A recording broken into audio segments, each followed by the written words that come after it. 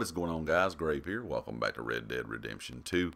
And today I'd like to talk about one of the new horses that has been added in with the naturalist role in Red Dead Online, and that is the Gypsy Cob.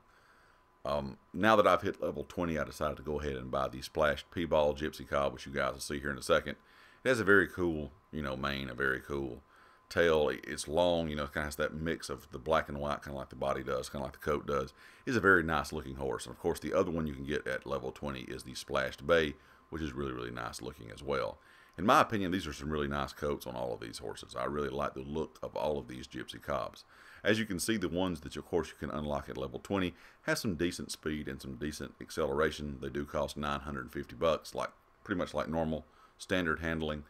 Uh, of course, depending on what you know level your horse is bonded at, once you get to four, depending on the saddle you have on, you're going to be able to get more speed or more acceleration or you know more core drain rate course, there's tons of different saddles in game that you can use.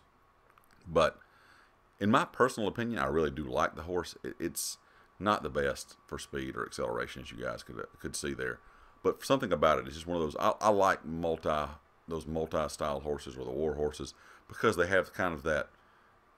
I guess not just straight speed and acceleration, but a little bit of toughness as well. Now, when it comes to purchasing a horse, I think it's just a flip of the coin if, if you're going to get a, a, skittish horse or not. Because sometimes I've purchased horses, got them to level four, they'll be extremely calm. I've purchased the exact same horse, the exact same breed, and they'd be very, very skittish. So I'm not sure if it's kind of a RNG thing when it comes to that. It's kind of odd in my opinion, but of course the one that I purchased, like I said, was the Piebald. Uh, I, I, did change the mane. I gave it the Mohawk. I gave it kind of the Mohawk look.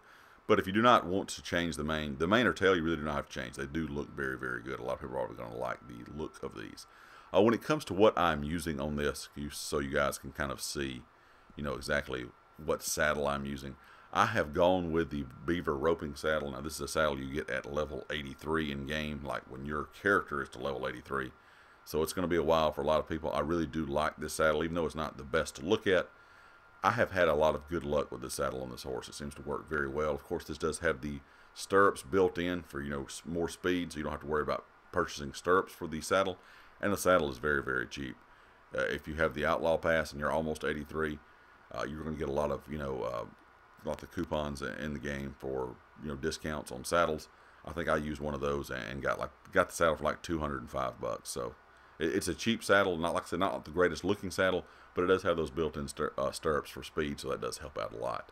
Of course, another really good saddle, in my opinion, for this horse, the one that I have used, and kind of one of the better saddles in game, is the Ivor saddle. Of course, this came with the Moonshiners DLC, uh, or the DL, you know, the Moonshiners role when that was unlocked.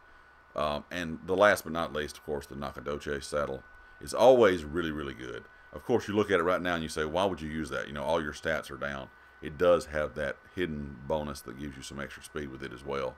So the Nacogdoches saddle is a very good choice as well.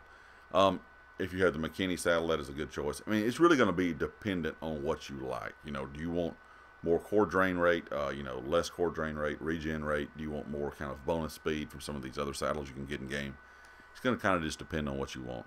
Like I said, this is not the fastest horse in game. I know a lot of people want just straight up speed, straight up acceleration, kind of a, a horse that you can race with.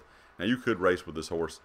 I'm not going to say that you're going to win all the time because, it, like I said, it's not the quickest. But as you can see with this Beaver saddle on, it does have some speed. The thing I like about it, it has a big stamina and a big health pool. Uh, you can ride for a long, long, long time on this horse and get to places quickly because you don't have to really let off the sprint. Uh, you can just sprint forever and you can get to places quickly because of that. You know, if you wear the Ivor saddle, you can get even more out of this when you're sprinting long distances. So that is one thing I like about it is a very hardy style horse, even though it may not be the fastest. It works very well for what I need, kind of getting across the map to locations back and forth, you know, without fast traveling. I just want something I can get back and forth quickly with without having, you know, to stop and wait for the stamina to kind of build back up. Anyway, guys, leave me a comment. Let me know what you think about the Gypsy Cob. And if you like the video, hit the like. If you have not subscribed yet, please do so. If you are a subscriber, make sure you click the bell icon in the top right corner so you know when all my videos go live. If you have a chance to share the video, please do. It does help out the channel a lot.